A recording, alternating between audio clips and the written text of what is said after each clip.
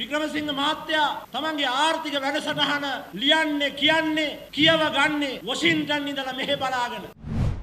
ජනාධිපතිවරයාගේ බටහිරට නැමුරු ආර්ථික ප්‍රතිපත්ති ශ්‍රී ලංකාවට නොගැලපෙන බව නිදහස ජනතා සභාව අවධාරණය කරනවා.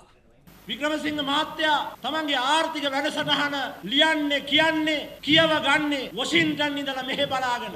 දැන් තව සති තුන හතරකින් විදුලි බල මණ්ඩල ප්‍රතිව්‍යුහගත කරන පනත ගේන්න යනවා. මේ ඓතිහාසික වැරද්දක් කරන්න යන්නේ. විදුලි බල මණ්ඩලේ කොටස් 16කට කඩනවා. කාලගුණය බල්ලම තමයි බැටින්ද බෝලින්ද කියලා තීන්දුව කරන්නේ. අපි සමග ජනබලයකට කතා කරමු. අපි ජාතික ජනබලයකට කතා කරමු. ඊසුමානේ පැය හතරක් කතා කරා කොමියුනිස්ට් පක්ෂය අපි. අපි ශ්‍රී ලංකා නිදහස් පක්ෂයට කතා කරමු. මේ රනිල් රාජපක්ෂ ආණ්ඩුවට එරෙහිව බලවේග එකතු කොට කපුක අපි බාර අරගෙන